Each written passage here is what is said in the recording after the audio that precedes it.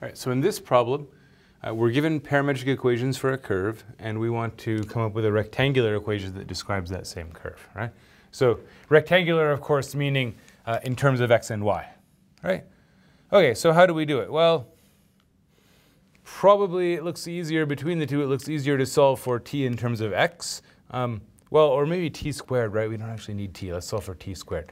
So from here, we can see that, uh, that t squared plus 1, just sort of cross multiply, t squared plus 1 is, is 1 over x. So that means that t squared is 1 over x minus 1. And we could always write that as, if we get a common denominator, write that as 1 minus x over x. Okay? Um, okay.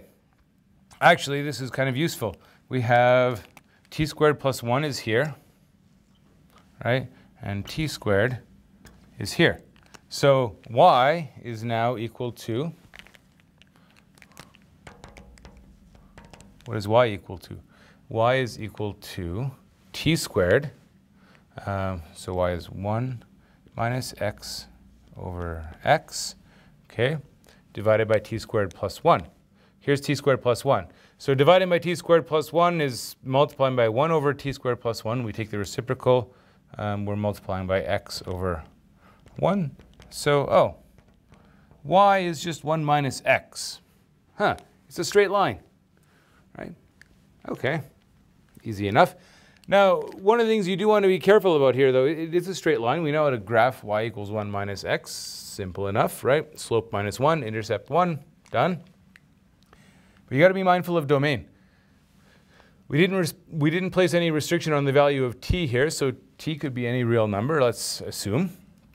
But do we get all possible real numbers for x, right? What's the range? What's the range of, of these parametric equations? Well, notice that that denominator, right, is never, never going to get close to zero, right? The smallest the denominator can be is one. So the biggest x can get is one. Um, but the denominator can go to zero, right? It never reaches zero, but it can approach zero as t goes to infinity. Um, so x can get arbitrarily close to zero. Um, and so the maximum for x is one. Um, lower bound for x is zero, but we don't reach it, so it's not a minimum. Um, so notice that uh,